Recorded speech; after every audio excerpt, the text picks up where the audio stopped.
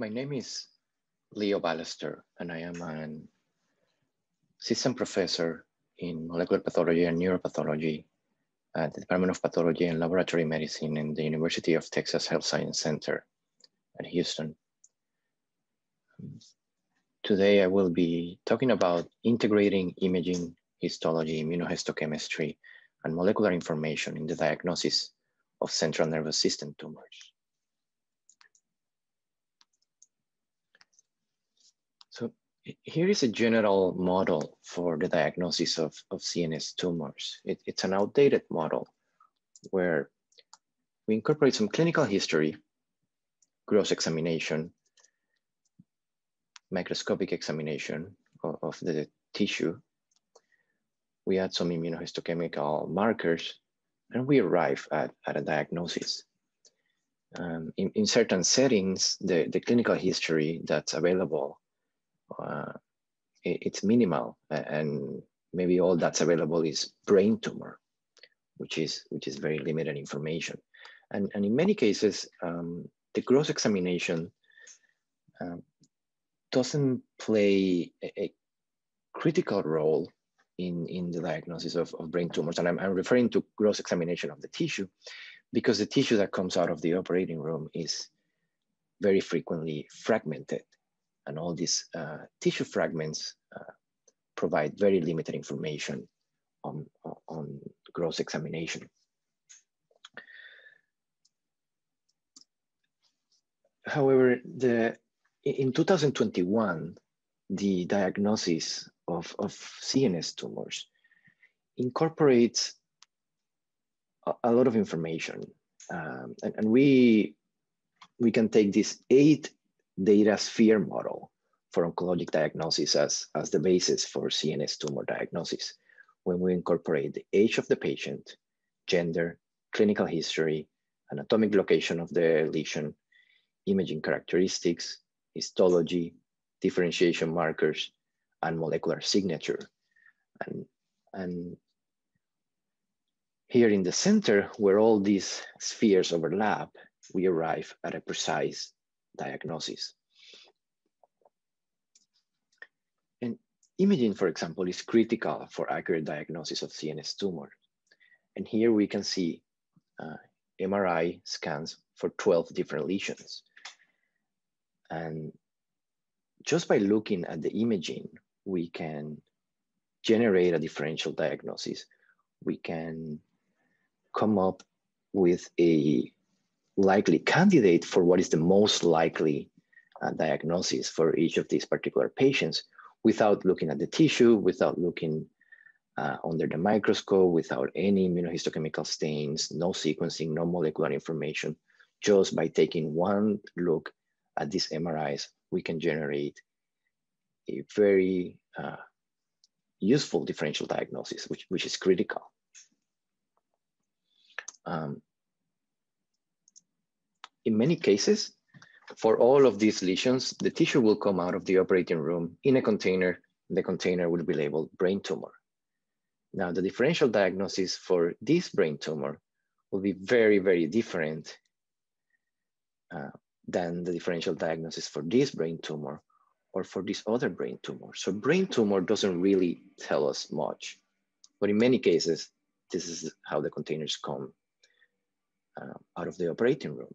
So, so we have to do, we have to go further, dig deeper, and obtain additional information by going to the medical record and actually looking at the MRI images when, whenever possible. As you can see here, just by looking at the MRIs, we can come up with what is the most likely diagnosis for, for many of these lesions. An intraventricular lesion would be an ependymoma. Cyst with a mural nodule in the cerebellum, uh, especially the cerebellum of a child, pilocytic astrocytoma would be the most likely lesion. Uh, intraventricular lesion, but in, in the posterior horn of the ventricle, this could be an intraventricular meningioma. Pituitary adenomas, this uh, diffuse hyperintense intensity involving both hemispheres, astrocytoma, most likely low-grade astrocytoma, IDH mutant, multiple lesions, uh, ring enhancing, smooth as opposed to this irregular ring enhancing lesion down here, which would be classic for glioblastoma. This would be an infectious uh, etiology, most likely. Enhancement in the pineal region to consider germinoma. You can see here how the pons, the, the brainstem is expanded by this hyperintense lesion that it's a classic presentation for a diffuse midline glioma. And we know now that many of these lesions, the great majority of these lesions have an H3K27M mutation. So this would be a diffuse midline glioma H3K27M mutant. So we can even anticipate what the molecular alteration of a lesion is going to be by just taking a look at the, at the imaging. Multiple lesions, metastases, we already talked about glioblastoma. Uh, this uh, periventricular enhancement, uh, frequently seen in CNS lymphomas. You see this superficial lesion with a dural tail there, this smooth interface with the brain. This would be classic for a WHO grade one meningioma. And this is very powerful before going to do a frozen section uh, diagnosis or before going to intraoperative consultation, just having this information available can make a huge difference uh, and, and it can make a difficult frozen very easy if we know the location and the imaging characteristics of the lesion. So, the, so there's some key, key imaging findings in, in some common CNS tumors. As I mentioned, this is critical for intraoperative consultation and the location of the lesion is, is critical. In some cases, extraaxial contrast enhancing mass with a dural tail. Uh, right? That's classic for a particular lesion. We have other instances of an intraaxial frontal lobe mass with contrast enhancement in an old patient, and that generates a different set of uh, possibilities in, in the differential diagnosis. Spinal cord lesions, they're divided in, uh, as intradural or extradural, or intramedullary or extramedullary.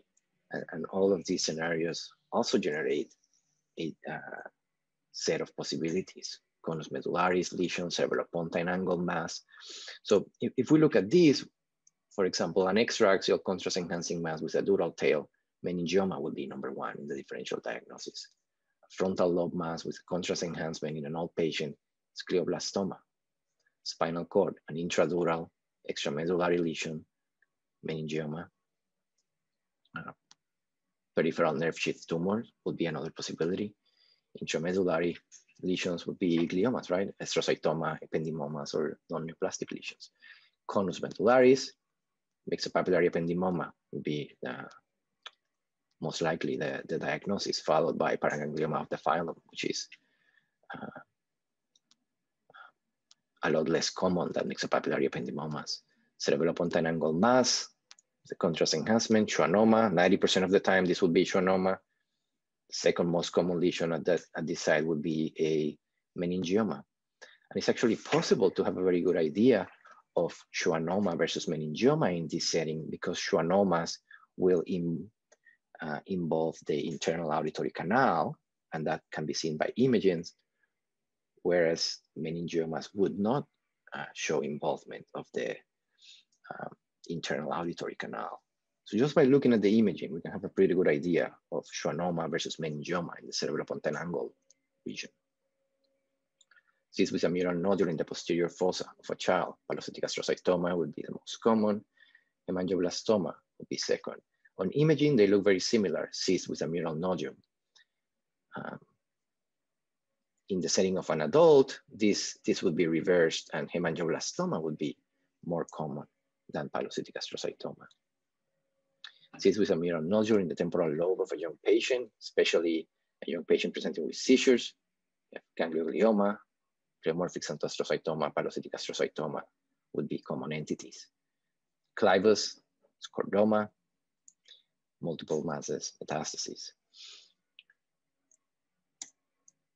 So for example, it's, it's very easy to look at this uh, MRI scan, this axial T1 image with contrast enhancement. And you can see uh, a dural tail here, You can see that the lesion shows homogeneous contrast enhancement. There's another lesion showing similar characteristics here. These are multiple meningiomas and, and it's almost certain that that's going to be the diagnosis even before uh, examining the tissue available. This is what the tissue look like. Here we have gross examination of, of this lesion, shows this uh, fibrous appearance with uh, yellow color. And the touch preparation shows these cells with intranuclear inclusions, uh, indistinct cytoplasmic borders, this wispy cytoplasm, as we call it. Uh, you can see in the touch also some whorls, uh, psammoma bodies, and, and this is a, a meningioma. But, but we were almost certain, perhaps 90% certain or 95% certain that this was going to be the diagnosis before looking, looking at the tissue. And that's how powerful imaging, imaging can be. Now, histology is critical for accurate diagnosis of, of brain lesions. We've, we've known that there is a, a large amount of information that we have acquired over the years uh, regarding the histologic features of different uh, different CNS tumors. And, and, we can look at a glass slide under the microscope and uh, come up with very precise diagnosis. Now, in some cases, histology alone is insufficient. For example, in this distinction of astrocytoma versus oligodendroglioma, the, distinction based on histology alone can be very difficult. That's why for many years we were using this uh, diagnosis of oligoastrocytoma because there was a lot of overlapping histologic features. More recently, with the incorporation of molecular alterations, has become easier to separate astrocytoma from oligodendroglioma. And, and I will be talking uh, about that in more detail in, in the next uh, slides. And there are key histologic findings that are associated with common CNS tumors, whorls and psammoma bodies. Uh, for example, meningioma, pseudopalisading necrosis and vascular proliferation is classic for glioblastoma, perinuclear clearing, which we frequently see in oligodendroglioma, Rosenthal fibers using eosinophilic granular bodies that should raise the diagnosis of pilocytic astrocytoma, sweat keratin, stellate reticulum, basaloid cells with peripheral palisading, classic histologic features for adamantinomatous craniopharyngioma, perivascular pseudo-rosettes, of course, ependymoma. We have other types of rosettes, Homer-Wright rosettes in medulloblastoma, Flexner-Wintersteiner rosettes in retinoblastomas. We have these large branching vessels, which we also call staghorn vessels in solitary fibrous tumor. So histology is, is very, very powerful. And molecular alterations are also critical for the diagnosis of CNS tumors, and they're becoming more critical uh, as time uh, as time progresses.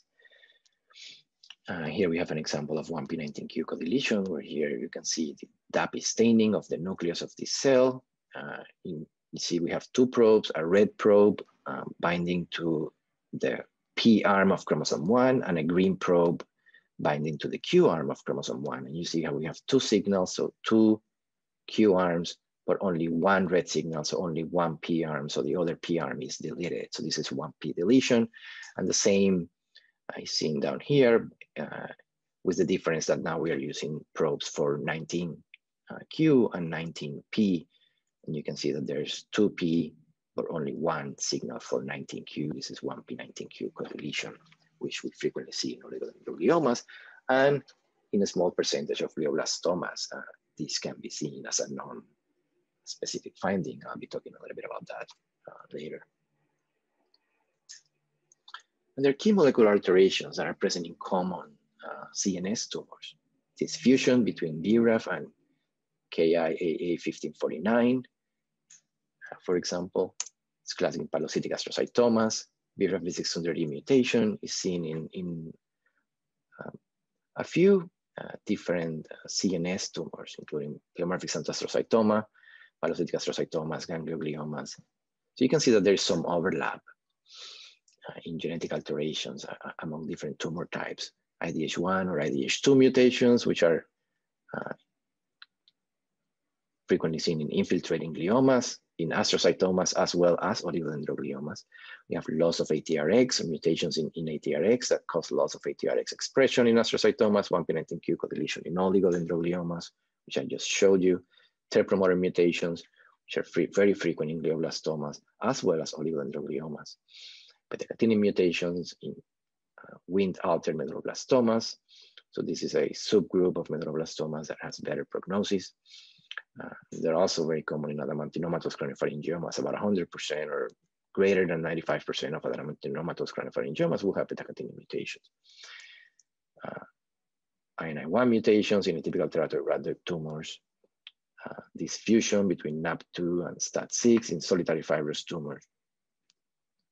And there's an antibody against STAT6 that can help uh, identify cases that have this fusion by showing nuclear expression uh, nuclear localization of the, of the fusion protein. And histone mutations, particularly the histone 3, H3, K27M mutation, which is a defining alteration for diffuse midline glioma H3, K27M mutant. And you'll be hearing more about this entity in the next presentation by Dr. Velasquez. Now, I just mentioned there, molecular alterations are, are very powerful and in, in defining homogeneous groups uh, when it comes to brain tumors, but, but there is overlap. And, and for example, if you look at the BRAF V600E mutation is present in, in PXAs, gangliogliomas, pilocytic astrocytomas, glioblastomas, craniopharyngiomas. Similarly, TERT promoter mutations are present in glioblastoma and, and oligodendroglioma.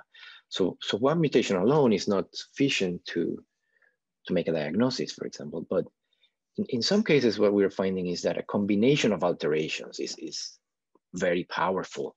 For example, TERT promoter mutations with an IDH mutation, it's, it's almost um, diagnostic of oligodendroglioma because that combination of an IDH1 or an IDH2 mutation with a TERT promoter mutation is not seen in, in glioblastomas, it's not seen in any other type of, of brain tumor.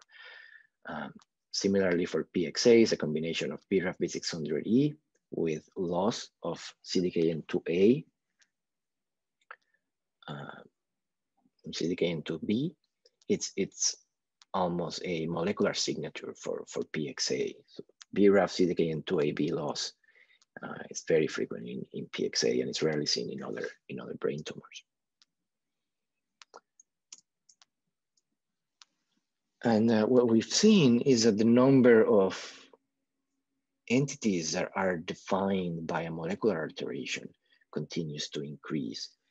Um, I think the uh, hematopathology um, WHO classification system relied heavily on, on molecular alterations since, since 2008. And for example, there are about 24 disease entities that had a molecular alteration as part of their name.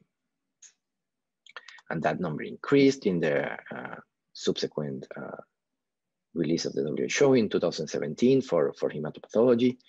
In 2007, the WHO for CNS tumors, there were zero.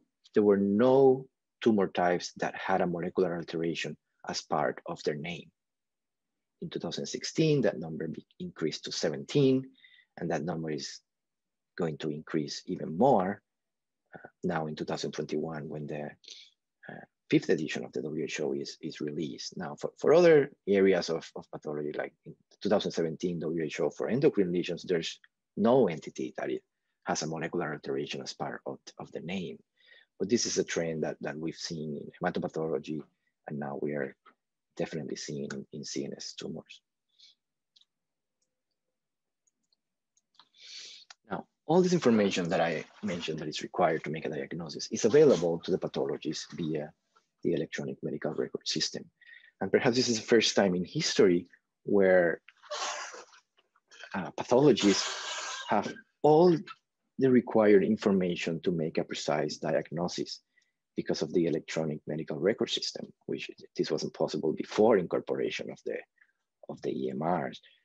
We we will have uh, access to histology and, and differentiation markers, but we wouldn't have access to imaging or, or some uh, limited access to, to clinical history before the electronic medical record became uh, widely used. And this makes a huge difference at, the time of making a diagnosis, having all this information available. And the pathologist is the first member of the clinical team to have all the information available. Because before surgery and before, we, we're the first ones to, to get histology. Like other physicians will have access to information on the EMR, but we are the first ones to have access to histology, differentiation markers, and molecular signature. This highlights the critical role of the pathologist in making a diagnosis for a patient that will impact treatment uh, and prognosis. Now, two of these uh, spheres are rapidly evolving. One is molecular signature determination and preoperative imaging. And these are changing very rapidly, and these two fields are growing and, and expanding significantly in the past few years, and that will continue to happen uh, over the next few years. And it will have impact in and, and change how we diagnose brain tumors.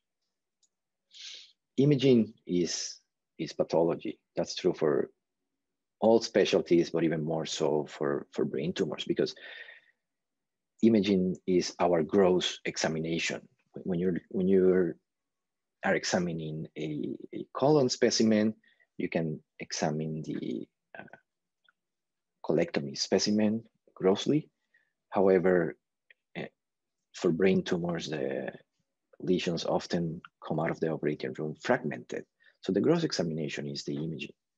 So imaging is pathology, and this is, this is very important for the diagnosis of CNS tumors. Now, I, I mentioned earlier uh, about the new WHO, the fifth edition, which will be coming out. Initially, was uh, supposed to come out in 2020, and this was postponed to 2021. Um, the first edition of the WHO was released in 1979, second edition in 93, uh, third edition in 2000, the fourth edition in 2007, and we currently are working under the revised fourth edition released in 2016. And the main change between the 2007 classification and the 2016 classification was the incorporation of molecular alterations, defining features of CNS tumors. And in fact, the incorporation of molecular alterations as part of the name of uh, some of these entities. And this is a trend that's uh, in, uh, continuing in the 2021 edition.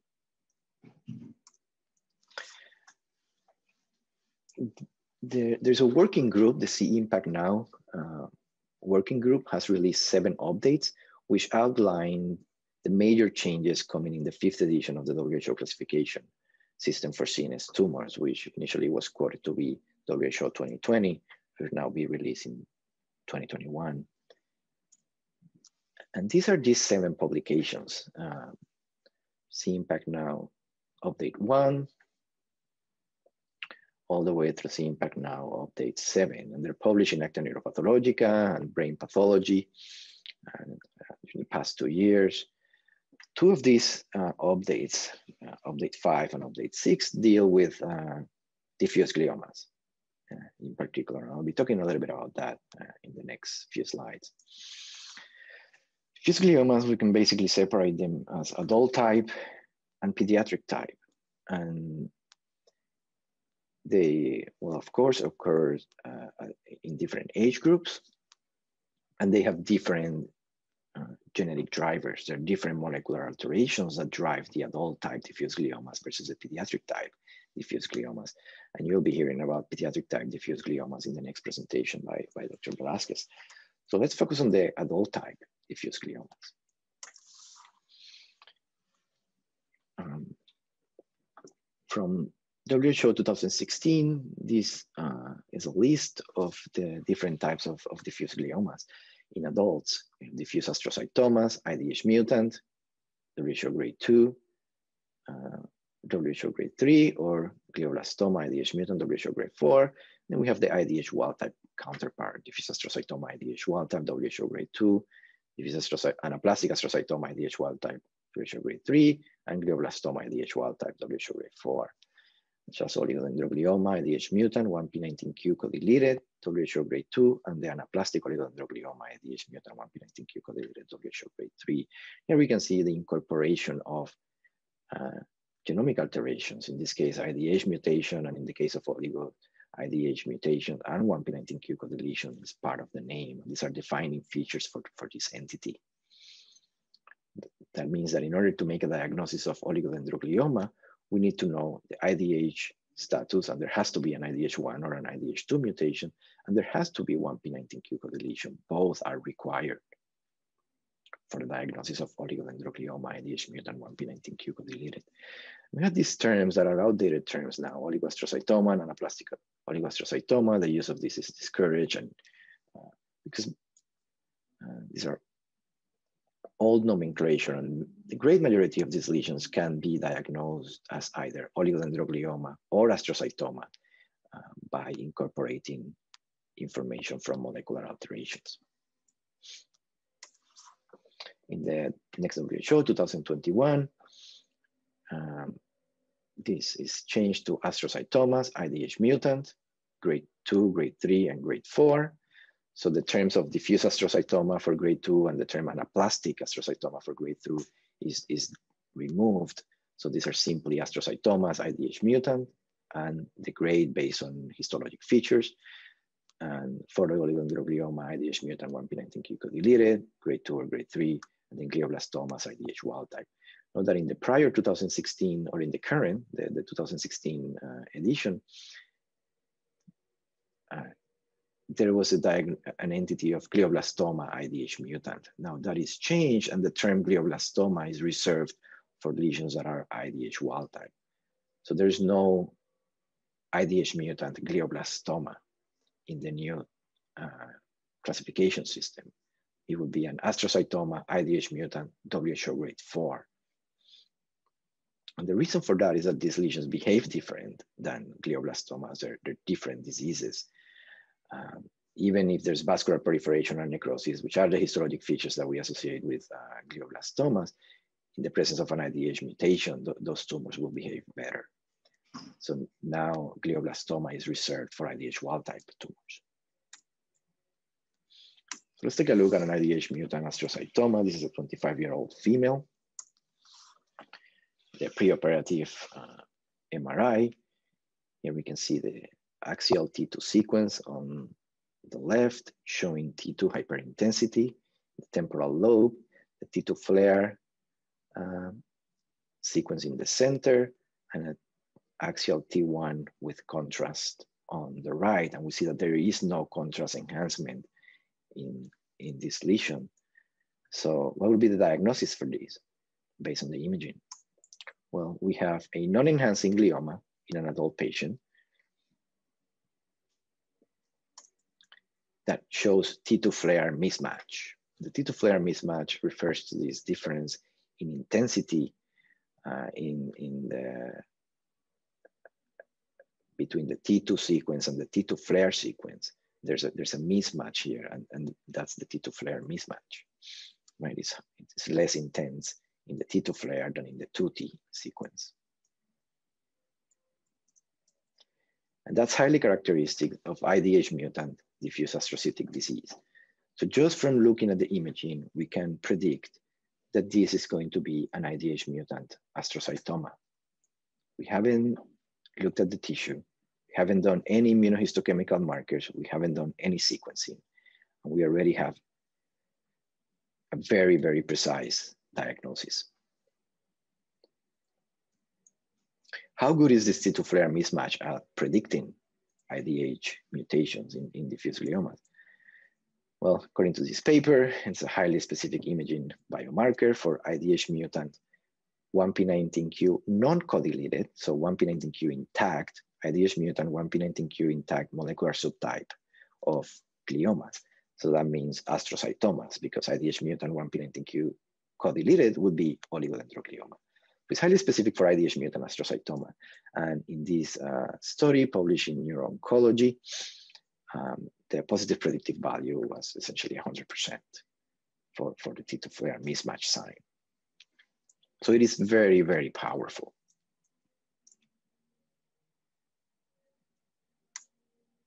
And here you can see eight different patients showing the T2 FLAIR mismatch. And these are T2 FLAIR sequences, and you can see how uh, they're, they're hypo-intense uh, in the T2 FLAIR in, in all of these cases.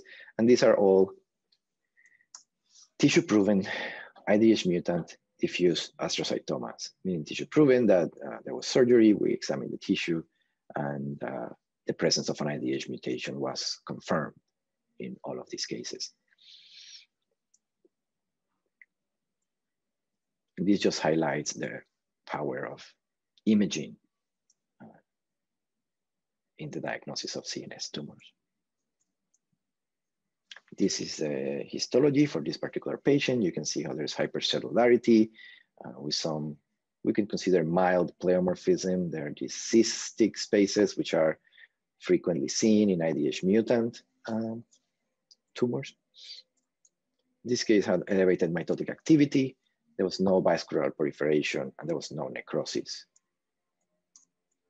So taking all the information that we have, this would be a WHO grade three based, based on histologic criteria because of the absence of vascular proliferation or necrosis, and it would be a grade three because of the elevated mitotic activity. There's no specific cutoff for mitosis. Uh, how, how many mitoses are needed for, for a grade three? There is no, no defined cutoff.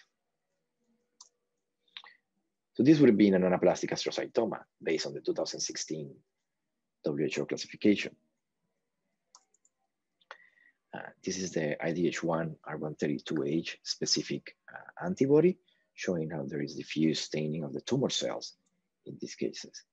In th this particular case, uh, we can see a higher magnification. You can see how the blood vessels, these are the endothelial cells in the blood vessels, they are negative for IDH1 R132H. So the blood vessels do not, do not have the mutation, only the tumor cells have uh, the, the mutant protein.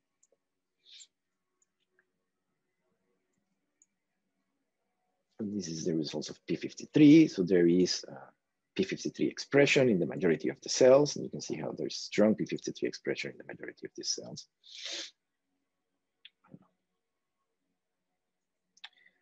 And there is loss of ATRX. You can see here in the center is a blood vessel showing retained nuclear expression of ATRX by the endothelial cells. And there are some normal cells in the background that retain normal nuclear ATRX expression. There are many cells that are uh, negative for, for ATRX. So there's loss of ATRX expression in the tumor cells. And that is indicative of an ATRX mutation. So the classic molecular alteration triad of the IDH mutant diffuse astrocytic disease is presence of an IDH1 or IDH2 mutation, a P53 mutation, and loss of ATRX expression. And these frequently happen uh, together. Uh, these three alterations uh, coexist in IDH mutant uh, astrocytomas. And we can uh, determine this by using immunohistochemistry, which is very powerful and it's faster and in many cases is uh, perhaps more easily accessible than advanced sequencing uh, tests. But IDH you know, immunohistochemistry is particular for IDH1. There's no antibody for IDH2 mutations yet. Um, TP53 antibodies and ATRX uh, antibodies are, are readily available.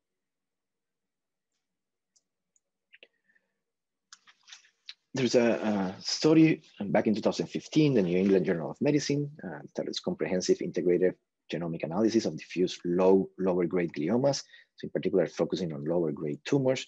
This is from the Cancer Genome Atlas, the, the TCGA. You can see that uh, diffuse grade two and grade three uh, gliomas, low grade gliomas, uh, what other alterations are present in these tumors? Some cases have IDH mutation, 1p19q co-deletion. These are oligodendrogliomas, and they have frequently inactivated mutations in CIC, FUBP1, and NOTCH1. They have activated mutations in PIK3CA, TERT promoter, uh, and of course IDH1, IDH2. In contrast, the IDH wild type tumors, which are uh, glioblastomas, they have alterations in EGFR, MDM4. They have TERT, so TERT mutations are present in both, but note that IDH1, IDH2 mutations are present in oligodendrogliomas. They are not present in glioblastomas, IDH wild type. And glioblastomas frequently have EGFR and PTEN alterations, and these are important and, and critical now for, for the diagnosis of glioblastomas, IDH wild type from a molecular, uh, from a molecular standpoint, because they're very common. And we have tumors that have an IDH mutation, but no 1p19q co-deletion. 1p19q co-deletion is absent, and these frequently have TP53 and ATRX mutations. This is the example that I just showed you, the IDH mutant, TP53 mutant, ATRX mutant, glioma. These are diffuse astrocytomas, uh, IDH mutant. Uh, we've now uh, eliminated the, the, term diffuse from the name, so this would be astrocytoma IDH mutant, uh, grade two, three, or grade four based on, on histologic features. So uh, if we go back to our case under the 2016 WHO classification system, this 25-year-old patient, the diagnosis would be anaplastic astrocytoma, IDH mutant, WHO grade 3. Now, if we follow the cIMPACT-NOW updates, five and, and six, for uh, which deal with diffuse gliomas, this is what the update uh, tells us essentially. In 2016, we had diffuse astrocytoma, plastic astrocytoma, grade three, and glioblastoma, grade four, uh, for IDH mutant tumors. In 2020, uh, the, the, terminology is astrocytoma IDH mutant, grade two, astrocytoma IDH mutant, grade three, astrocytoma IDH mutant, grade, grade four. So you can see how the name has changed. The term glioblastoma is reserved for IDH wild type uh, diffuse astrocytoma, as I mentioned uh, earlier.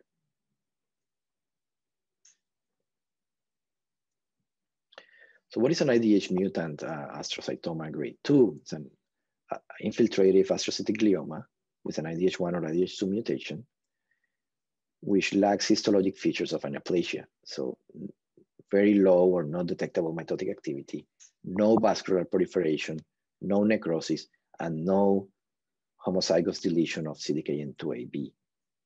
That is an astrocytoma IDH mutant WHO grade 2.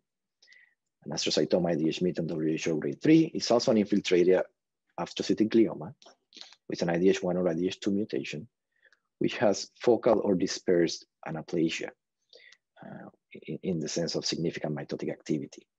However, there is no vascular proliferation, no necrosis, and no homozygous deletion of CDKN2AB, And that's an anaplastic astrocyte, and, and that's an astrocytoma IDH mutant, WHO grade 3. The astrocytoma IDH mutant WHO grade 4 is also an infiltrative astrocytic glioma with an IDH1 or IDH2 mutation, but it has vascular proliferation or necrosis or homozygous deletion of CDKN2AB. And it, means or homozygous deletion of CDKN2AB. So if there's an astrocytoma an IDH mutation that doesn't show vascular proliferation and doesn't show necrosis, but it shows the presence of CDKN2AB homozygous deletion, it would be a grade four. So this is a molecular alteration defining uh, grade for, for astrocytomas IDH mutant because these tumors behave uh, poorly. The IDH mutant tumors in general behave uh, much better than other types of astrocytic gliomas. However, the ones that have CDKN2AB homozygous deletions uh, behave poorly, so they are given a WHO grade 4, even in the absence of vascular proliferation or necrosis. So it is important to evaluate CDKN2AB uh, status for IDH mutant tumors because it has an impact on tumor behavior and, and tumor grade.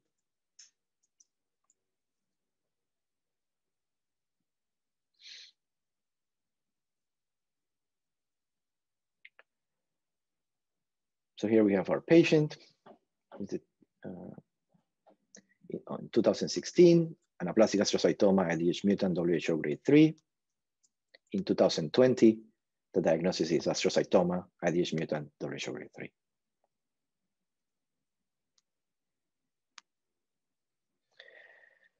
But we don't know CDKN2AB status for this patient. So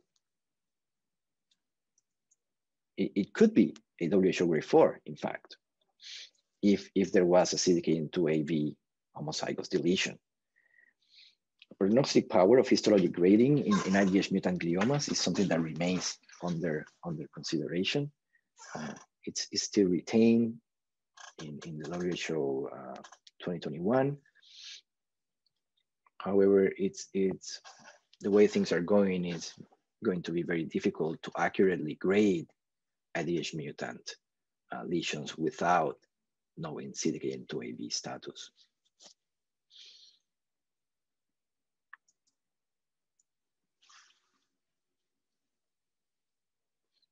we already mentioned this, astrocytomas, the uh, triad of molecular alterations, IDH1, IDH2, ATRX, P53 mutations, oligodendrogliomas on the other hand, IDH1, IDH2 mutant, or 1p19q co-deleted. If we look at the IDH1 mutation, there's an antibody that uh, detects the IDH1 R132H. I show you an, uh, an image of that immunostain earlier. Uh, that particular uh, antibody, which recognizes the R132H mutant protein, uh, that mutation accounts for 93% or 94% of IDH mutant uh, gliomas. There are other IDH mutations, R132C, R132S, so serine, glycine, leucine, valine, or IDH2 mutations that are not detected by, by the antibody. So the antibody, it's helpful in more than 90% of cases, but uh, is not entirely specific. So, which is critical when we are uh, in, incorporating algorithms in clinical practice to evaluate IDH1 mutations.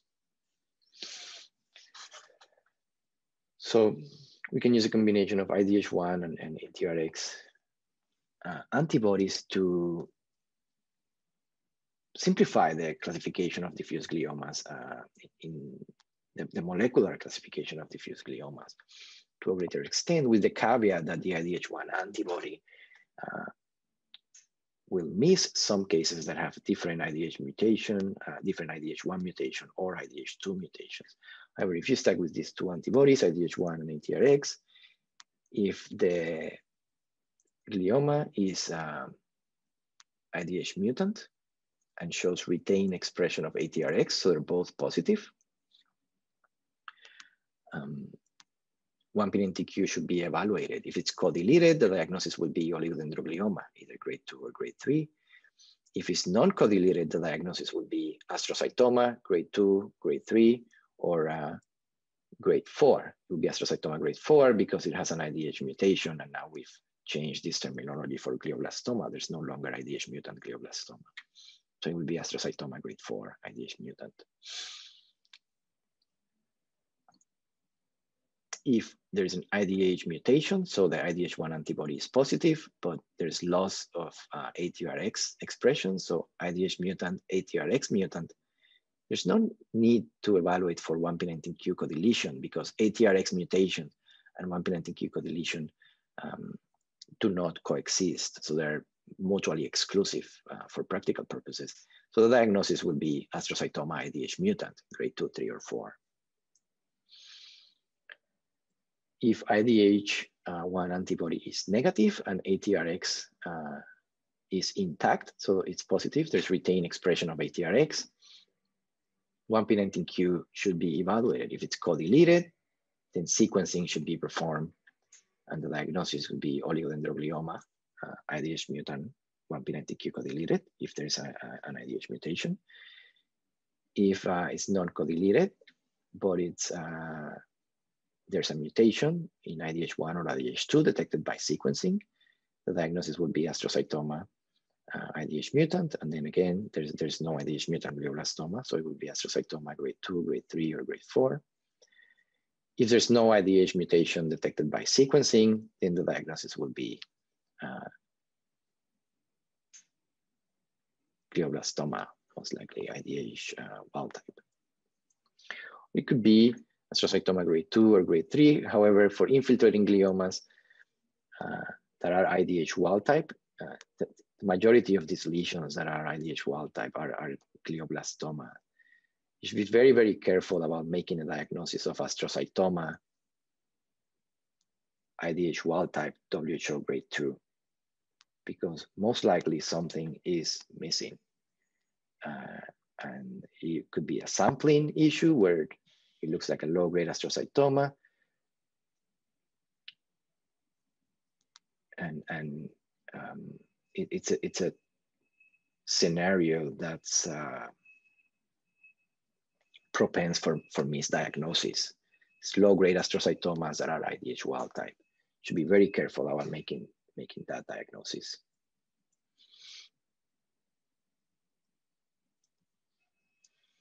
Now, there, there are uh, some things to consider when we're looking at uh, molecular alterations in diffuse gliomas, in particular in, in, in oligodendrogliomas. This is an article that we published back in 2017 in Human Pathology, molecular classification of all diffuse gliomas, conflicting IDH1, IDH2, ATRX, and 1P19Q results. And um, there's some examples of cases where, where the results of the molecular evaluation um, provided us with conflicting uh, information that made the molecular classification of, of these infiltrating gliomas uh, difficult. Here we have six cases. Um, the histologic diagnosis is shown here. Most of them were glioblastomas. This was uh, anaplastic oligodendroglioma by histology high-grade diffuse glioma and anaplastic oligodendroglioma histologic grade, the IDH status. These three lesions were wild type, so these three were glioblastomas. This was mutant, IDH mutant, um, and these were wild type. So only one of these lesions was had an IDH mutation, which was called anaplastic oligodendroglioma on histology. Now, when we look at ATRX, uh, there was is positive, so retain expression of ATRX, retain expression of ATRX. Here was ATRX loss. Um, and this uh, patient number four had an IDH mutation and ATRX loss. So this is just like the example uh, that I uh, provided earlier with uh, these two alterations coexisting. So this is uh, an astrocytoma IDH mutant. That would be the classic molecular alteration. Uh, because of loss of ATRX, um, the diagnosis of oligodendroglioma is uh, unlikely. In fact, in this particular case, and, and, this diagnosis made on histology of anaplastic oligodendroglioma is uh, incorrect. Even in the setting of 1p19q codeletion by, by FISH, and I'll be explaining this a little bit, why all of these cases show 1p19q codeletion. However, all of these cases are not oligodendrogliomas. In fact, um, none of these cases are oligodendrogliomas, even though all of them showed 1p19q codeletion.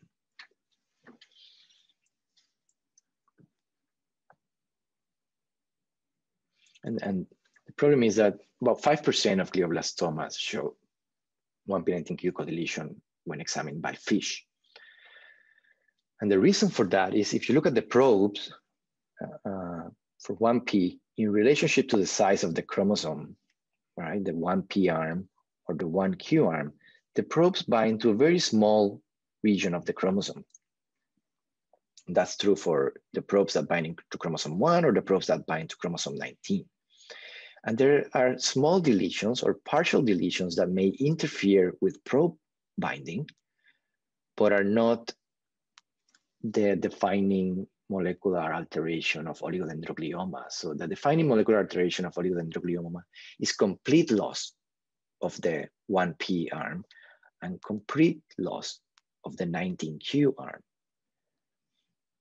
So the entire 19Q and the entire 1P arm are lost. And we use these probes that bind to a small region of, of, the, of the 1P arm or the 90 arm to detect this complete loss. However, there can be a partial loss or a small deletion in the chromosome that prevents the probe from binding. So you will get the same result as when the entire 1P arm is lost. And that happens in about 5% of glioblastomas. And that's why 1p19q co-deletion by FISH alone is not sufficient for an accurate diagnosis of oligodendroglioma.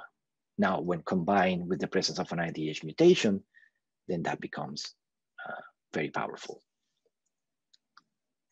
And it correlates with the uh, better behavior uh, and better prognosis of uh, oligodendrogliomas.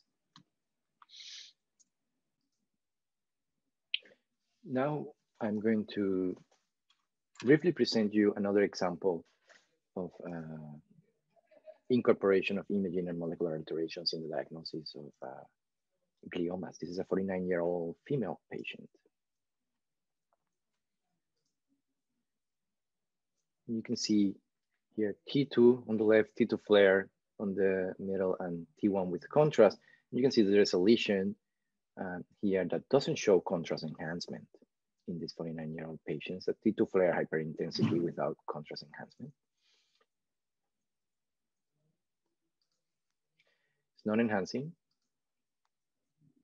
And there's no T2 FLAIR mismatch uh, as opposed to the prior patient, the 25 year old patient that I show you, which had T2 FLAIR mismatch. This patient doesn't show that. Uh, magnetic resonance spectroscopy. You can see here, if we look at this uh, region, there's normal brain uh, showing a normal uh, angle uh, here. If we focus on the lesion, there is an inverted Hunter's angle where the with an elevated choline creatinine ratio and elevated choline NAA ratio. So this would be the signature on MR spectroscopy. it's consistent with a tumor as opposed to normal brain here. Uh, so this is densely cellular lesion, likely anaplastic, uh, at least WHO grade three lesion, just based on these imaging uh, characteristics. Here we have an H&E uh, showing hypercellularity, pleomorphism, uh, PHH3, which is a phosphorylated histone antibody that we can use to highlight mitosis. There's mitosis here, there, and there. So we have mitotic activity and uh, increased Ki67 proliferation shown here as well. So astrocytic morphology, no microvascular proliferation, no necrosis, no enhancement on the MRI. Um, this would be an anaplastic astrocytoma WHO grade 3 based on the 2016 WHO classification system. Now, we do molecular signature determination. We use an antibody against the mutant histone protein, H3K27M is negative. Um, so the trimethylation is, is preserved. This uh, antibody recognizes the lysine 27, same lysine 27 that is normally trimethylated. So under wild type normal circumstances, uh, this uh, lysine 27 is trimethylated and this antibody recognizes that. Uh, when the mutation is present, um, the trimethylation at lysine 27 is lost. So these cells would be negative. However, this, there's no mutation.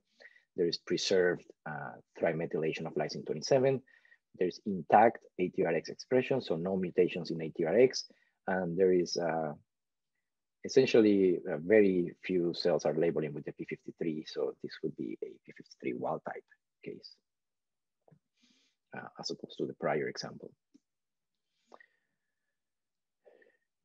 And you can see that here, retain uh, K27 trimethylation, no H3K27M mutation, no ATRX mutation, and no P53 mutation with the next generation sequencing in this case. And these are the genes that are uh, evaluated. All the genes that are listed here were evaluated in this case. The ones that are circled in red uh, showed a uh, mutation. Uh, TERT promoter uh, mutation, MDM2, EGFR mutation, CDK2, CDK4 mutation. We focus on TERT.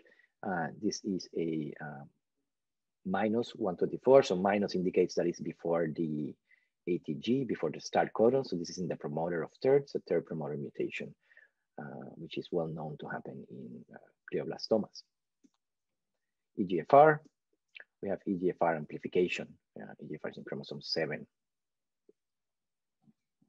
So the diagnosis in 2016 would be anaplastic astrocytoma, WHO grade three. However, uh, under the current uh, classification system for the new WHO that will be coming out in 2021. This would be a glioblastoma IDH wild type WHO grade four. Even in the absence of necrosis, even in the absence of vascular proliferation, uh, this would still be a WHO grade four tumor because of the molecular alterations. Uh, mutation, EGFR amplification are classic alterations of glioblastoma. And that's uh, highlighted in the cIMPACT-NOW update uh, six. So what is the criteria for glioblastoma IDH wild type? It's an IDH wild type diffuse astrocytoma with microvascular proliferation or necrosis or one or more of the following molecular alterations. Either a TERT promoter mutation would be sufficient to make a diagnosis of glioblastoma, even in the absence of vascular proliferation or necrosis, or EGFR amplification uh, would be sufficient to make a diagnosis of glioblastoma, even in the absence of vascular proliferation or necrosis, or combined gain of chromosome 7 and loss of chromosome 10. So any of these three molecular alterations is sufficient to make a diagnosis of glioblastoma in, in the appropriate clinical setting of an infiltrating glioma, uh, even without vascular proliferation or necrosis. So there's a change here, it's a fundamental change where molecular alterations um, are used as evident, evidence to support the diagnosis of, of glioblastoma, even in the absence of the traditional histologic features that have been associated with glioblastoma for, for, uh, for many, many years in the past. And this case had both of them. Only one is sufficient, but this particular example had both TERT promoter mutation and EGFR amplification. So this non-enhancing grade 3 IDH wild type astrocytoma would have been uh, based on classic histologic features. Uh, under 2016, it would have been an anaplastic astrocytoma IDH wild type WHO grade 3. That would have been the diagnosis uh, under the current 2016 WHO classification system. However, 2020 uh, WHO or 2021 WHO the diagnosis is glioblastoma, IDH wild type WHO grade 4 because of the molecular alterations.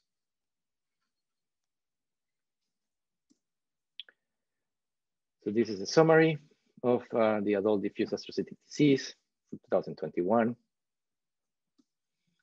Um, IDH wild type tumors, glioblastomas, uh, vascular proliferation or necrosis, or one of these three molecular alterations.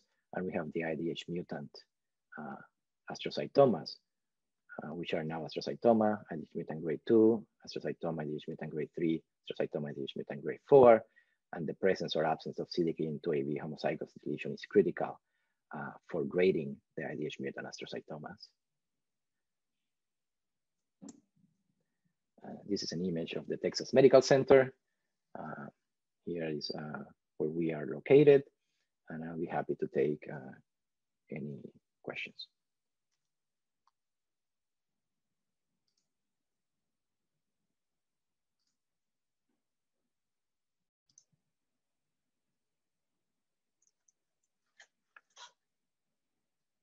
Hello, my name is Leo Ballester, and I'm an assistant professor in molecular pathology and neuropathology at the University of Texas Health Science Center at Houston. Um, I will be talking about the use of CSF biomarkers for the diagnosis and monitoring of patients with CNS malignancies.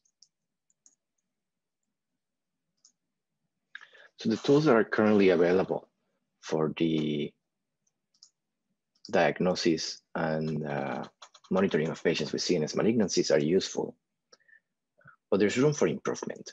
For example, imaging has limited specificity we are able to easily identify lesions on the MRI, but it's not necessarily so easy to uh, say with 100% specificity what type of lesion uh, it is.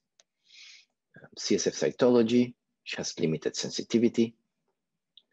Uh, so CSF cytology is negative, even in the presence of uh, obvious uh, CNS tumor and biopsy or resection, which is sensitive and specific, but it is an invasive procedure. So this is an example of uh, two MRIs. There's a patient with uh, glioblastoma at the top, and there's a patient with CNS lymphoma at the bottom. You can see how the lesions are similar on the T1 sequence. There's this T1 hypointense region, uh, there's T2 FLAIR hyperintensity, and both lesions show contrast enhancement. Um, and in some cases, it can be difficult to distinguish uh, between glioblastoma and central nervous system lymphoma on MRI alone. Also, in the post-treatment setting, uh, there's this uh, phenomenon called pseudoprogression or, or treatment effect, where the imaging changes that occur as a result of treatment can mimic uh, glioblastoma, for example, and it can become, uh, it can be very challenging to distinguish uh, what is treatment-associated changes on the imaging versus uh, tumor recurrence. And in some cases, the patients undergo a second surgery because we are not able to distinguish uh, pseudoprogression uh, or, or treatment effects from true progression or tumor recurrence. Um, in the case of uh, CSF cytology or the analysis of circulating tumor cells in, in the CSF, this has very low sensitivity. And you can see an example here of the CSF cytology specimen. There are many lymphocytes in the background. There are some larger cells that can be considered atypical cells. Um, and uh, it, it, can be difficult in some cases to uh, be certain as to whether this uh, cell represents a tumor cell or represents reactive atypia. And in, in some other cases, we have obvious clusters of tumor cells present in the CSF, and this will be uh, positive for, for tumor. This is an example of medulloblastoma. Mm, so this suffers from low sensitivity. Um, it, it is negative, so frequently we are not able to detect viable intact tumor cells in the CSF of patients with brain tumors.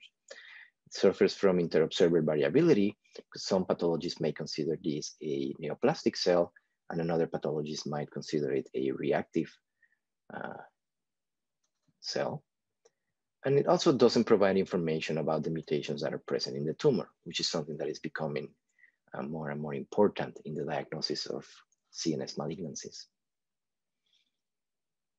So we did a study and we looked at 142 patients with a primary or metastatic CNS tumor in our institution. There were 218 cerebrospinal fluid samples.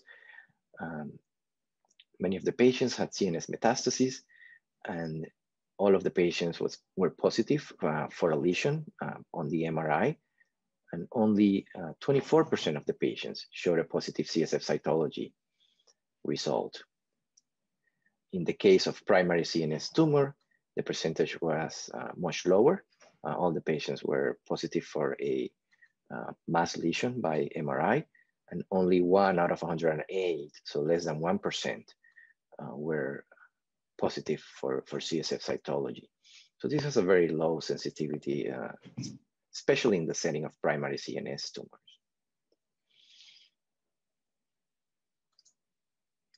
And brain biopsies, this is an example of a resection, uh, are, are sensitive and uh, they're specific. They accomplish uh, also they, they have a treatment purpose. They, they accomplish cytoreduction where we can reduce the number of uh, neoplastic cells in, in the brain. It provides tissue for examination by histology or by molecular studies, but it's an invasive procedure and not every CNS tumor is treated with surgery.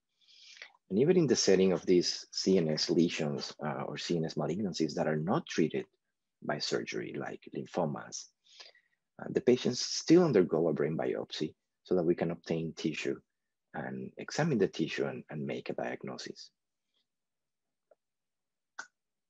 So not every patient with a brain uh, tumor needs surgery.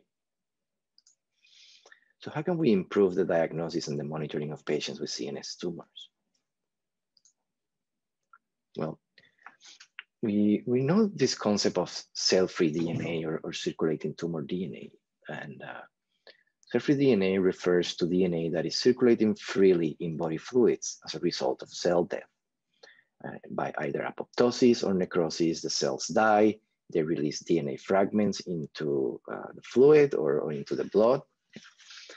And uh, we can detect these, these fragments. If the DNA comes from a normal cell, uh, it will be wild type DNA. If these DNA fragments come from a tumor cell, it would be tumor DNA. So in, in fluids, we often see a mixture of tumor DNA and normal DNA. And this is uh, being used uh, with increasing frequently in the diagnosis and, and, monitoring of patients with systemic malignancies like lung cancer, colon cancer, uh, in particular looking at circulating tumor DNA in, in the blood. The analysis of circulating tumor DNA facilitates the detection of cancer-associated mutations from body fluids. And fluid samples are easier to collect than tissue samples.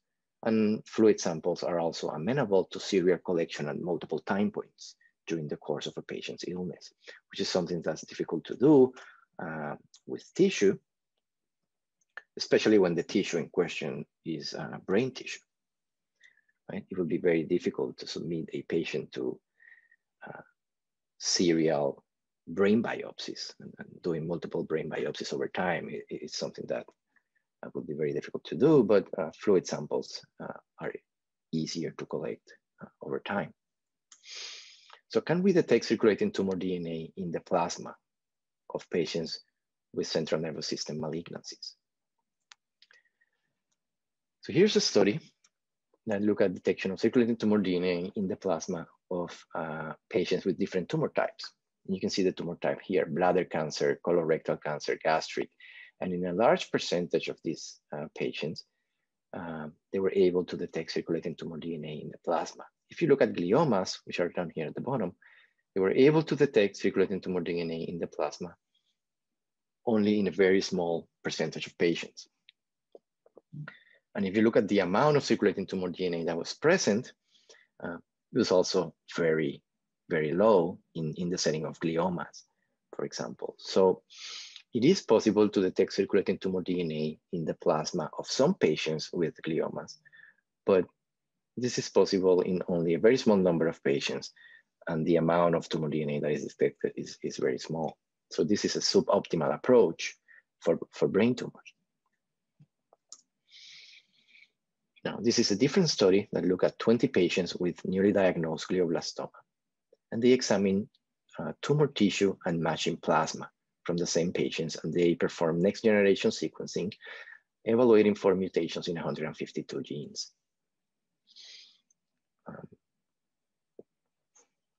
they look at uh, cell-free DNA concentration in healthy donors and in patients with glioblastoma, and they saw that there was a trend toward higher levels of cell-free DNA in the plasma of patients that had glioblastoma. However, when they look at the mutations in tissue and plasma, and you can see the mutations here uh, from uh, the tumor tissue are shown in blue, the mutations uh, detected in plasma are shown in red, and these are the different patients. There was uh, no concordance between the mutations that were detected in plasma ctDNA and the mutations that were detected in uh, brain tumor tissue. So basically this, this uh, this raises questions as to the utility of this approach of uh, looking at plasma cell-free DNA in patients with brain tumors, because none of the mutations in plasma cell-free DNA were present in the tumor tissue, and none of the mutations in the tumor tissue were detected in plasma. So there was, there was no concordance. Um, these are results from a different study where they look at the, the presence of the IDH1 mutation in the plasma of patients with gliomas. And they use this approach of uh, cold PCR uh, followed by digital PCR. Uh, in particular, they were looking for the IDH1 R132H mutation, which is uh, frequent in low-grade gliomas. And they uh, look at plasma of 14 patients with IDH wild-type gliomas. You would expect these patients to be negative for the presence of the mutation, and 25 patients that had uh, IDH mutant gliomas. They were able to detect the IDH mutation in the plasma of 15 out of these 25 patients, so 60% of patients uh, by, by looking at digital PCR, right, for this particular mutation. You can see the mutant allele frequency in the wild type patients here uh, is essentially negative. And then in patients that had IDH1 uh, mutant tumors, they were able to detect uh, mutant DNA in, in the plasma uh, of these patients, and they had uh, this area under the curve of uh, 0.75. So ctDNA can be detected in the plasma of patients with central nervous system malignancies. But if, if you use next generation sequencing, this can be detected uh, only in small amounts. The, the amount of tumor DNA is very small in a small percentage of patients. And it has poor concordance with the mutations that are present in tumor tissue. If you use a different approach like digital PCR, which uh, it, provides improved sensitivity in comparison to NGS, has better concordance or good concordance with tumor tissue. But digital PCR is limited to the analysis of a single point mutation in, in a single gene. So it's not something that's amenable to evaluating multiple genes in plasma uh, by next generation sequencing like can be done for lung cancer or colon cancer.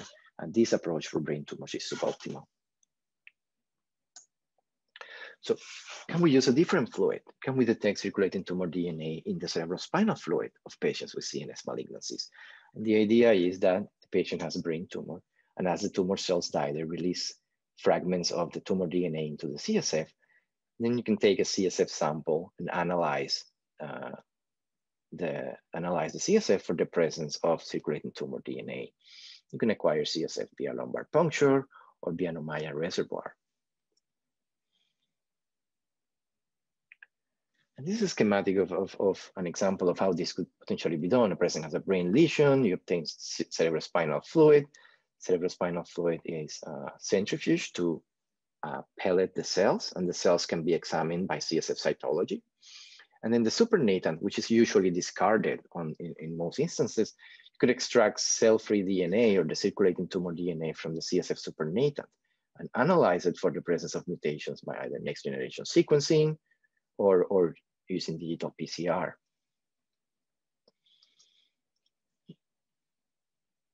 Here is an example of, of a study that uh, we published back in 2018, where we use both digital PCR and next generation sequencing to detect C, uh, CSF ctDNA in patients with metastatic melanoma to the, to the central nervous system.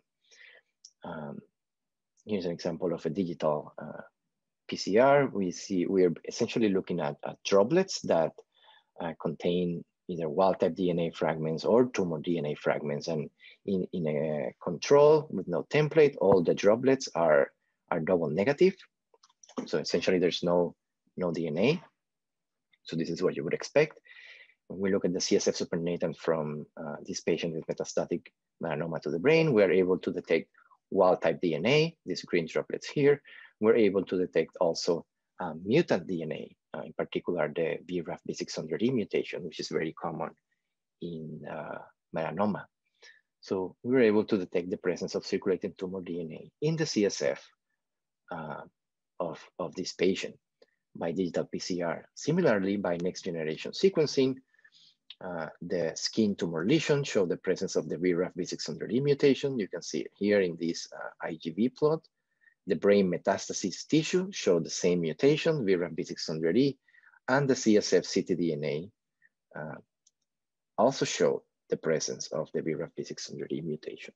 So it is possible to use either next generation sequencing or digital PCR to detect mutations in the CSF of patients with uh, brain tumor and there is good concordance with the mutations uh, present in the tumor tissue.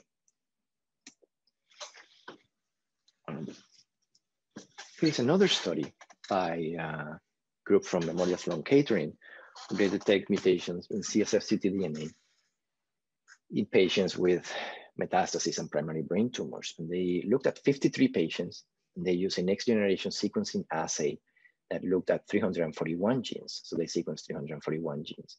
And they detected mutations in CSF ctDNA in about half the patients, 49% of the patients. You can see here that patients that had no CNS metastasis, so controls, there's no, no false positives, so no mutations are detected in the CSF. In about six of 12 patients with primary uh, brain tumor, they detected uh, mutations in, in circulating tumor DNA. and in about 20 out of 32 patients with CNS metastases. If we look at the patients with CNS metastases that were evaluated by cytology, CSF cytology, all the patients that were positive for CSF cytology, so there were tumor cells detected in the CSF, they were able to detect mutations in, in the DNA isolated from the CSF supernatant. Now, even in cases where CSF cytology was negative, in about 25% of patients in which CSF cytology was negative, they're still able to detect tumor DNA uh, in, in the CSF. So the analysis of circulating tumor DNA in the CSF is more sensitive than uh, the analysis of uh, CSF cytology.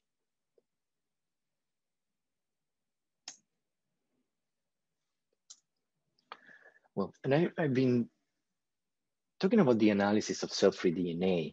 And when you're looking at CSF and you uh, centrifuge the CSF, and you, you could generate the CSF pellet, which is usually used for examination of uh, tumor cells. And you have the CSF supernatant. And the CSF supernatant contains DNA fragments that can be isolated and studied. What's the advantage of using the supernatant versus the pellet? Well, if you look at the how much uh, tumor DNA, which can be uh, examined by looking at the mutant allele frequency, what is the frequency of the mutant allele in the pellet versus the frequency of the mutant allele in the supernatant, in the same patient, this patient had a BRAF V600E mutation, you can see that the CSF pellet has very low mutant allele frequency versus the CSF supernatant has much higher frequency of uh, mutant DNA. And here are some controls where no mutations were detected. And what happens is that in the CSF pellet, if we look at, the, at a CSF sample, for example, and we centrifuge this sample, the cell pellet is going to contain a lot of normal cells, primarily a lot of normal lymphocytes that do not have the mutation. These are not, most of the cells that are present in CSF are non-neoplastic cells. And the presence of all these neoplastic cells, that of these non-neoplastic cells that are present in the CSF pellet contribute wild type DNA. So you're essentially diluting the DNA that uh, is present in the rare viable tumor cells that are present in the CSF pellet. However, the CSF supernatant will contain all the DNA fragments that were released from uh, these viable cells uh, and the presence, the, the, frequency of the mutant DNA is uh, the mutant allele frequency is significantly higher than, than in the pellet.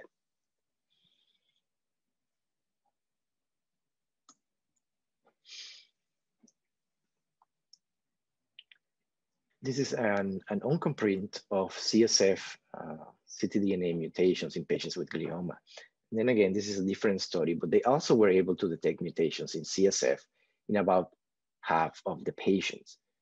They were not no mutations detected in any of the control samples. And five of the 42 patients showed DNA hypermutation or high tumor burden, which is something that uh, can be can occur after uh, treatment with temozolomide and could have uh, therapeutic implications, this hypermutation phenotype. So it's possible to also detect the hypermutation phenotype by looking at CSF ctDNA.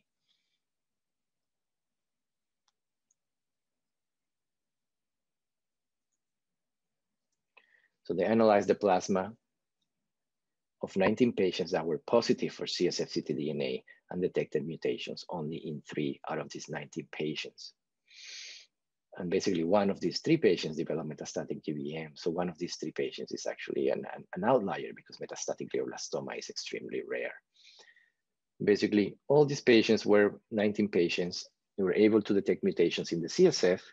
They look at the plasma they were only able to detect mutations in the plasma of three out of these patients where mutations were detected in the CSF. So it, it again highlights that CSF is superior to plasma for evaluation of mutations in patients with CNS malignancies. Uh, there is a correlation between uh, CSF ctDNA and, and survival. Uh, in, in, this study also they compare match uh, tumor tissue and, and CSF. You can see the mutations that were shared between tumor tissue and the CSF ctDNA are shown in red. So most of the mutations were shown in both. There's good concordance between mutations in brain tumor tissue and CSF ctDNA, uh, as opposed to uh, the mutations that are detected in plasma, where, where there's poor concordance um, with tumor tissue. Uh, there was only a few discrepancies where some mutations were present in CSF that were not identified in tumor tissue. And this could be the result of tumor heterogeneity in, in some of the samples. Now, there's also a correlation with, uh, with survival. Uh, patients that were negative for CSF ctDNA analysis, so no mutations were detected, these patients lived longer than patients that had a positive CSF ctDNA uh, result where mutations were detected, and these patients show worse survival. So there's a clinical significance of detecting mutations in CSF, in CSF ctDNA in patients with uh, gliomas. Here we have uh, patients with glioblastoma on the left and patients with lung cancer brain metastasis on the right. Look at this patient with glioblastoma. They looked at the presence of mutations in the CSF, in the plasma, and uh, they evaluated the uh, tumor burden by volumetric analysis of uh, brain MRIs. You can see how they're looking at two different time points. And this patient, uh, they're looking at three different mutations, the IDH mutation in blue, the TP53 mutation in red, and an ANK2 mutation in green. And the patient essentially had uh, stable levels of uh, mutant DNA in the CSF. There were no detectable levels in plasma and had stable uh, tumor burden at both time points. This other patient also had glioblastoma. There was a decrease in the levels of uh, circulating tumor DNA in the CSF between the first time point and the second time point. Again, non-detectable levels in plasma.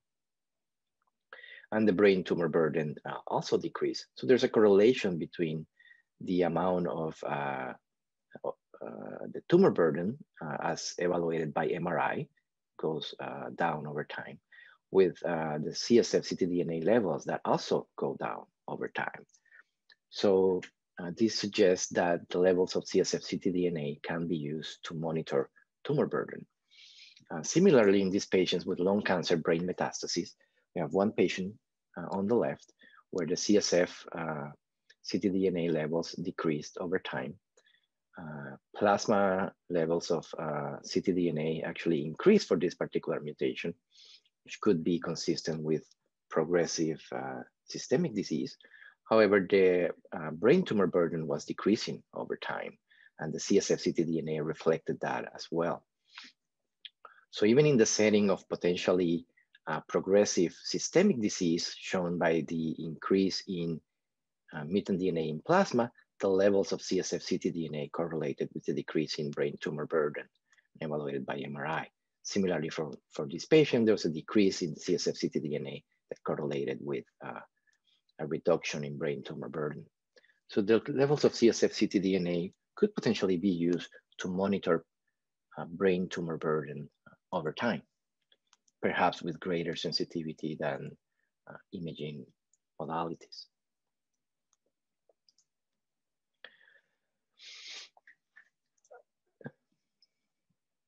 CSF uh, is superior to plasma for, for the analysis of circulating tumor DNA in, patients with brain tumors. And, and I've given you a couple of examples of that. Here we have three additional uh, examples. In, in this uh, patient with a meningioma, the, the, it's an atypical meningioma having an AKT mutation, they were able to detect uh, the AKT mutation in uh, tumor tissue the same mutation was detected in the CSF, but not in plasma.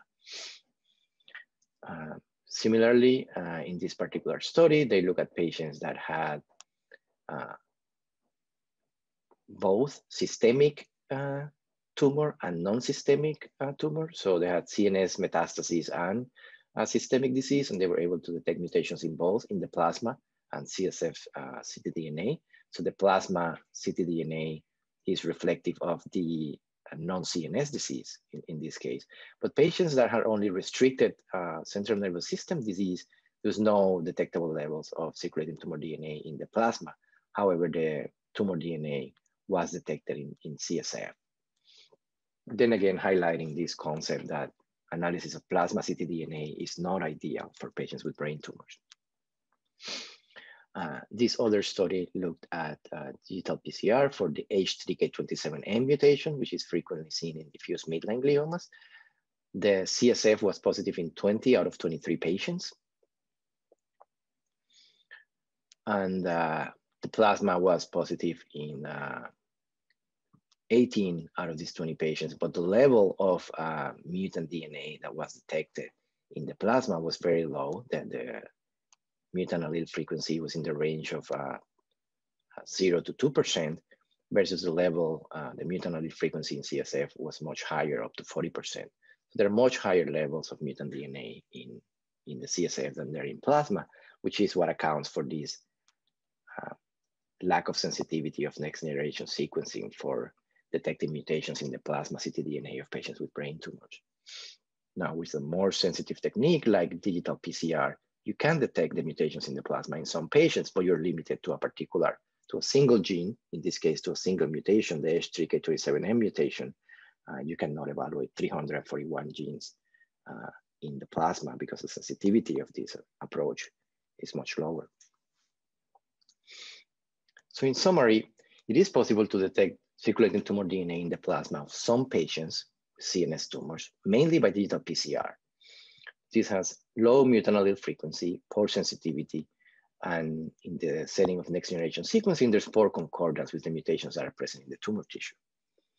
Now, it is possible to detect circulating tumor DNA in the CSF of patients with CNS tumors by either next generation sequencing or by digital PCR. CSF has higher mutant allele fraction, has higher sensitivity, and it has great concordance with the mutations that are present in the tumor tissue. So CSF is superior to plasma for the evaluation of circulating tumor DNA in patients with brain tumors. CSF supernatant is superior to the CSF pellet. And it is possible to monitor CSF ctDNA levels over time and the levels of ctDNA correlate with CNS tumor burden. So how can we use this in clinical practice?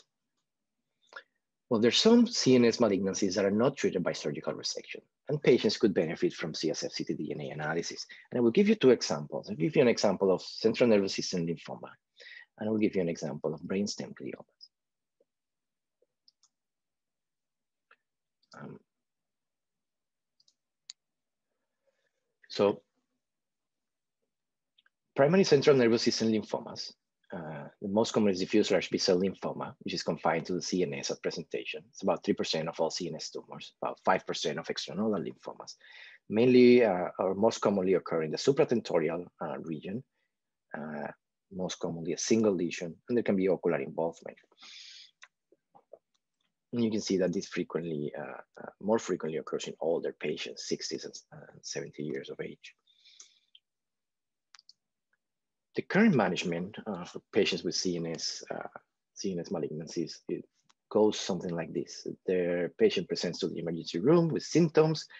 They perform an MRI. The imaging findings are suspicious for lymphoma. Uh, the patient may have CSF analysis to do flow cytometry or CSF cytology, which have limited sensitivity.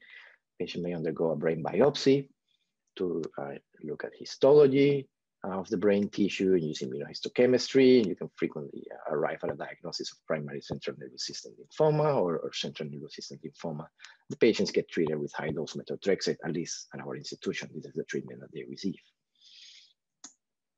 Here we have a brain biopsy showing a high degree of cellularity in the tissue. You can see that the cells are very large and, and pleomorphic. So this would be diffuse large B-cell lymphoma, which is just usually a significant amount of necrosis.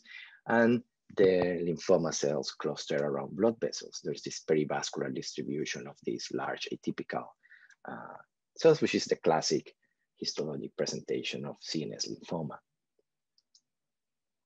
We can do immunohistochemistry to CD20, which is uh, shows a membranous staining, or PAX5, which shows a nuclear staining, also a B cell marker. CD10 is usually negative in primary CNS lymphomas. Uh, CD10 is usually uh, more, more likely to be positive in systemic uh, CNS lymphomas or, or secondary uh, involvement of the central nervous system by, by a systemic lymphoma. So those secondary lymphomas tend to be CD10 positive. Now, brain biopsy is not the only method for diagnosing CNS lymphoma. Uh, we've, uh, in some instances, have used PCR from CSF, in particular PCR for the Epstein-Barr virus in the diagnosis of primary CNS lymphoma, in particular in immunocompromised patients, right? And there are several studies that have shown this, where viral sequences are detected in CSF, about 87.5% of patients with uh, uh, CNS lymphoma in the setting of immunosuppression, and zero out of 32 control patients. So it's a very specific uh, technique.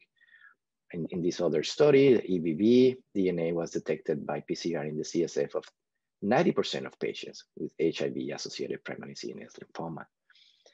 So there are examples where we use molecular techniques from CSF to diagnose lymphomas, in particular in the setting of uh, patients that are uh, immunosuppressed. Now, this is an approach that has not been widely utilized for lymphomas that are that are occurring outside the setting of immunosuppression. And the reason for that is that uh, until, until recently, there have been no good markers to detect by PCR in the CSF, but that's changing now that we have a greater understanding of the molecular alterations of primary CNS lymphomas. Uh, there are also examples of using the complementary determining region 3 in the CSF of patients with primary CNS lymphoma and in this particular study, they were able to detect uh, monoclonal uh, complementary determining region B in, in eight of these patients. So it is possible, it has a low sensitivity. Uh, not, so EBV PCR is limited because it only applies to patients with EBV-driven lymphomas. The detection of CD3 clonality and showed a monoclonal population in only 13% of cases. So even though we can use PCR to diagnose lymphoma in, uh, in some cases, uh, using PCR from uh, in cerebrospinal fluid, it, it's limited and it doesn't have broad applicability to the majority of patients with CNS lymphoma. So can we apply this strategy to CSF analysis to other patients with lymphoma arising in a different setting by taking advantage of the increased understanding of the genomic alterations in primary CNS lymphoma? And that then raises the questions, what are those alterations? What are the alterations in primary CNS lymphoma? So we've uh, looked at this. This is a study looking at 15 patients with primary CNS lymphoma. Uh, they were evaluated with a next generation sequencing assay looking at 400 genes. And um, the most common genomic alterations, the most commonly mutated genes were MYD88 and CDKN2AB. Here's a different study looking at 25 patients with primary CNS lymphoma. Uh, they use different next generation sequencing assay, looking at 34 genes. And then again, the most commonly mutated genes were MYD88 and CDKN2AB. Here's a third study looking at 22 patients, a next generation sequencing assay interrogating 64 genes. And again, MYD88 was in this particular, in this case was the second most commonly mutated gene. So there several studies supporting MYD88 is frequently mutated in primary CNS lymphoma. And if you look at this, um, all the studies that have been published, uh, these are the three most commonly mutated genes, MYD88, PIM1, and CD79A, uh, consistently mutated in uh, primary CNS lymphoma. In particular, this L265P mutation in the MYD88 gene is present uh, in the majority of primary CNS lymphomas that are not driven by EBV, so lymphomas that occur uh, in patients that are not immunosuppressed. Now, before we talk about MYD88, let's take a look at BRAF V600E mutation. If we look at the BRAF gene, which is shown here, um, and you look at thousands of cancer samples, 54,000 uh, cancer samples, the mutations in the BRAF gene that occur in cancer are almost always at this location, the codon 600. So the BRAF V600E is the most frequently, uh, the most frequent mutation in BRAF in cancer. Now this mutation is not specific. You see it in many different types of cancer. You see it in thyroid cancer, in skin cancer, in melanoma, in intestine, in colon cancer. It's seen in, in many different types of cancers. So if we take a CSF sample and we find a BRAF V600E mutation, it will not be diagnostic of a particular cancer type, right? Because it's not specific. It's seen in many different types of cancer. Now, if we look at MYD88, uh, we have the MYD88 here. We look at this particular 2000 cancer cases. The mutations uh, similar to BRAF, there, there's a hotspot at position 265. So the, when MYD88 is mutated in cancer, almost always mutated at this position. It's this leucine uh, to proline mutation at codon 265. Now, if you look which cancers have this mutation, MYD88 L265P, it's almost exclusively in hematologic malignancies. So the MYD88 mutations occur almost exclusively in hematologic malignancies. They're very frequent, or almost all patients with Waldenström macroglobulinemia have this mutation, testicular lymphomas, and primary central nervous system lymphomas. So identifying the MYD88 L265P mutation in CSF, right, in combination with imaging and other clinical information, is essentially diagnostic of a hematologic malignancy. And it, the mutation is not specific for primary CNS lymphoma. It's also present in testicular lymphomas or Waldenström macroglobulinemia, but, but it's easy to distinguish this scenario uh, by clinical information. The, the clinical presentation, the clinical question is not usually whether the patient has a primary CNS lymphoma or Waldenström macroglobulinemia, or whether the patient has primary CNS lymphoma or testicular lymphoma. Testicular lymphoma present with testicular mass, so it's easy to identify this setting. The question is usually whether the patient has a primary CNS lymphoma or a glioblastoma, or if the patient has primary CNS lymphoma or a demyelinating disease.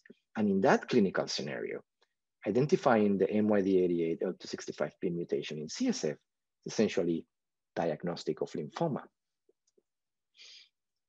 So can we detect this mutation in CSF ctDNA in, the, in patients with, with lymphoma? Here's an example You can see the MRI lesion this patient, the brain biopsy confirmed the involvement by uh, diffuse large B-cell lymphoma, CD, CD20 positive cells, PAX5 positive cells. Right, these are both B-cell markers. The tumor tissue showed the MYD88 L265P uh, mutation by digital PCR. Same mutation was detected in the CSF. This other uh, mutation in the same gene, uh, V216F, the tissue was negative and the CSF was negative, the template control was negative. So we're able to detect the C, uh, MYD88 L265P mutation in the CSF of this patient with uh, lymphoma. This particular patient had actually secondary central nervous system lymphoma, secondary involvement from a testicular lymphoma that was involved in the, uh, central nervous system.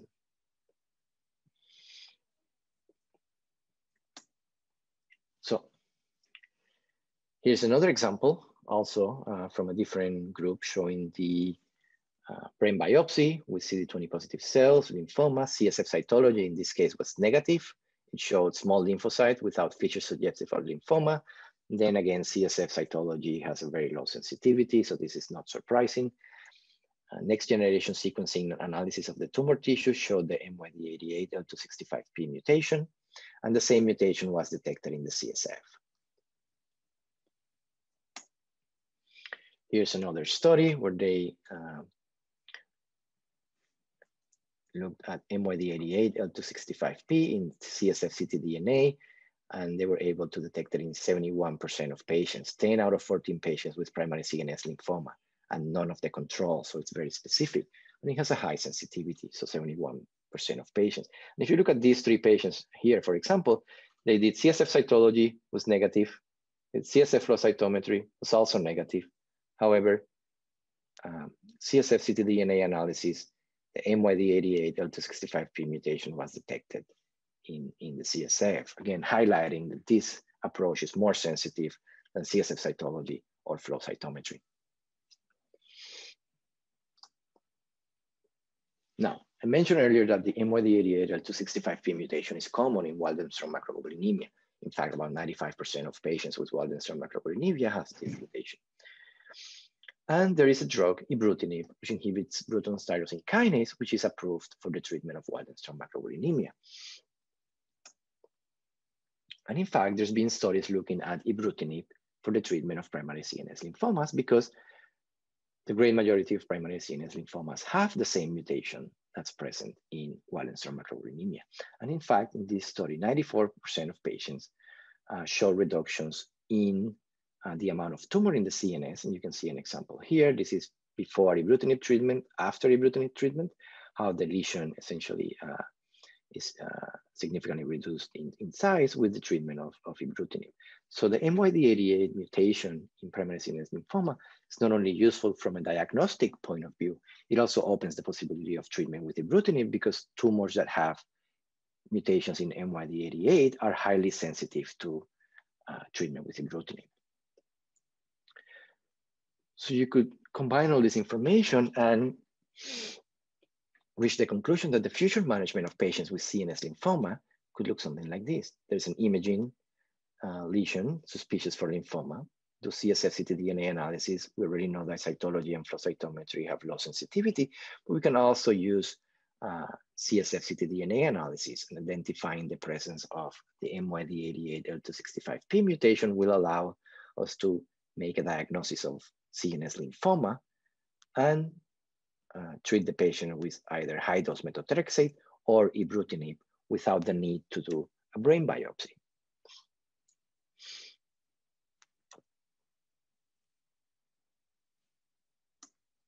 Now, I'm going to give you an example of how this can be applied to patients that have brainstem gliomas.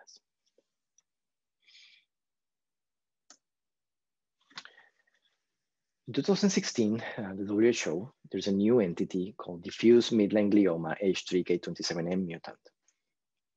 Previously, these tumors were um, classified as diffuse intrinsic pontine gliomas, and they're occurring children, predominantly in children, involve midline structures, thalamus, brainstem, spinal cord.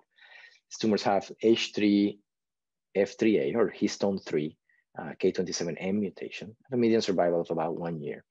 These tumors are not amenable to surgery because they diffusely involve the brainstem or, or the pons, and there's no effective treatment. You can see uh, here the imaging and the gross specimen showing uh, enlargement of, of the pons with this diffuse midline glioma. And these tumors are, are not, not amenable to surgical resection. The histology is similar to glioblastoma. You see pseudopalisading necrosis, vascular proliferation, pleomorphism, mitotic activity. And uh, sequencing studies have shown that uh, a large majority of these patients have H, uh, H3F3A mutations, mutations in H3.1.3 or mutations in H3.1. And there's also a high number of mutations in ACVR1. ACVR1 is also known as ALK2, and this is a kinase. And there are inhibitors available for this kinase that have shown beneficial effects in preclinical models for uh, diffuse intrinsic pontine glioma. So this could be a potential therapeutic target for, for DIPGs. Now, if we look at this H3K27M mutation, there's an antibody, a mutant-specific antibody. It can be used to identify tumors that have this mutation. Uh, and you can see here, this uh, tumor at the top was H3.3 wild type. So the mutant antibody does, does not stain the, the tumor tissue. And uh, under normal circumstances, this lysine 27, this K27, is uh, methylated. So this antibody against the methylated lysine shows diffuse staining of, of all the uh, tumor cells. Now, the case at the bottom, this patient has an H3.3 mutation, it's H3.3 mutant. So the mutant-specific antibody, the H3.3K27M specific antibody, highlights the tumor cells. But you can see that the endothelial cells, the blood vessels, are not staining. So, so the blood vessels do not have the mutation, only the tumor cells have the mutation. Now, when the lysine 27 is mutated to methionine, it's no longer methylated. So the antibody that recognizes the methylated lysine 27 is negative. It's negative in the tumor cells, and you can see how the tumor is negative. However, the endothelial cells, which do not have the H3K27M mutation, retain the normal uh, methylation in lysine 27. So this H3K27M antibody is, is very useful in making the diagnosis of diffuse midline glioma H3K27M mutant. Now, it's also possible to detect this mutation in CSF. In this particular study, they look at six patients with diffuse midline gliomas, six children. They were able to evaluate the CSF in five out of these six patients by, uh, by sequencing, and the mutation, H3K27M mutation, was detected in the CSF in four out of five patients. Now, in the setting of a patient with an MRI showing uh, diffuse involvement of the brainstem, detection of the H3K27M mutation in the CSF will essentially allow you to make the diagnosis of diffuse midline glioma, H3K27M mutant, without the need to do a brain biopsy. If we look at this uh, gene, H3F3A, we know that the K27M is the most common mutation, and that's shown here. There's another mutation that occurs in this gene in cancer, uh, is the G34R mutation. The H3K27M mutation is uh, frequent in midline uh, gliomas in children. The G34R mutation or G34A is frequent in hemispheric gliomas in children. If you look at what types of tumors have mutations in, in this gene, H3F3A, it's almost uh, exclusively primary central nervous system tumors, in particular 70% of the diffuse midline gliomas. So it's not seen in other, in, in other tumor types. So identifying the H3K27M mutation in the CSF in combination with imaging and clinical information is essentially diagnostic of a primary CNS tumor, particular diffuse midline glioma H3K27M mutant. The future management of patients with diffuse midline gliomas could be something like this. Patient presents with an MRI showing expansion of the midbrain or, or the pons, um, take a CSF sample, test the CSF ctDNA for mutations, identify the H3K27M mutation, which, is, which allows you to make the diagnosis of diffuse midline glioma, H3K27M mutant. And because by next generation sequencing, we can analyze multiple genes, can also analyze ACVR1 mutations, which may uh, open the possibility of uh, therapeutic uh, intervention, in particular inhibiting uh, ACVR1 mutation. And all of this is possible, diagnosis and treatment determinations without the need of having to do a brain biopsy. So just to add to the conclusions, a combination of clinical information, imaging characteristics, and CSF ctDNA analysis can be diagnostic in some patients with CNS malignancies.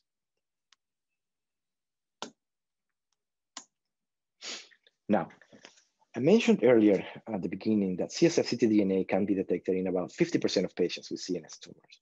So it doesn't work in 100% of the cases. And there are several factors that may influence the detection of CSF ctDNA. The method used, whether you're using digital PCR or next generation sequencing, there's some evidence that the tumor location, if the tumor is in close proximity to a ventricular space, may be more likely to detect uh, ctDNA in, in, in, the CSF, tumor volume, presence or absence of leptomeningeal disease, which genetic alterations are present, and history of treatment.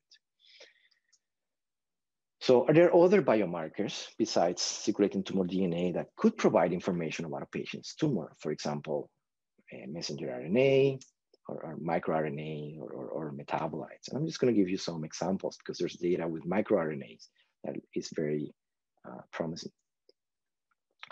MicroRNAs uh, uh, regulate the expression of numerous, numerous cancer-related genes. They can be detected in cerebrospinal fluid. This is a study that published the 50 most abundant microRNAs in CSF. Um, so microRNAs have been shown to be altered in the CSF of patients with brain tumors. Uh, for example, in gliomas, there's alterations in uh, MIR15B on, or MIR21. Glioblastomas have shown alterations in uh, MIR10B, also MIR21, CNS lymphomas, shown alterations in MIR19, MIR21, MIR92A. Uh, so there are alterations in uh, microRNAs in patients with CNS tumors. here's an example in this particular study, they isolated CSF and they used uh, qRT-PCR to look at microRNAs, uh, microRNA 15B or microRNA uh, MIR21 in patients with glioma, controls, patients with primary CNS lymphoma or, or metastases. You can see how uh, patients with glioma showed elevated levels of MIR15B in CSF. Here, uh, patients with uh, primary CNS lymphoma or metastasis showed elevated levels of MIR, MIR21 versus uh, there were low levels in control patients. So if you incorporate MIR15B and MIR21 into an algorithm, it's possible to distinguish patients with gliomas from patients with primary CNS lymphoma with uh, uh, a high degree of accuracy. Uh, this other study evaluated MIR21 in patients with primary CNS lymphoma. MIR21 is elevated in comparison to controls. MIR19B is similarly elevated in patients with primary CNS lymphoma in comparison to controls. And MIR92A is similarly elevated in the CSF of patients with primary CNS lymphoma in comparison to controls. So incorporating MIR21, MIR19B, 92A, it's possible to distinguish patients with primary CNS lymphoma from control patients with a high degree of uh, accuracy, uh, accurately, uh, correctly diagnosing 95% of patients by just examining microRNA levels in the CSF.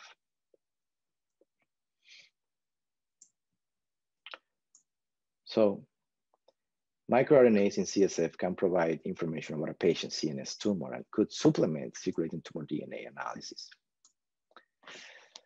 So just to summarize, uh, uh, it is possible that in the future, in um, the management of patients with central nervous system malignancies will incorporate analysis of mutations in, in CSF or analysis of microRNA levels in CSF, in particular uh, in patients with lymphomas or patients with midline gliomas, which are uh, CNS tumors that are not treated by, by surgery.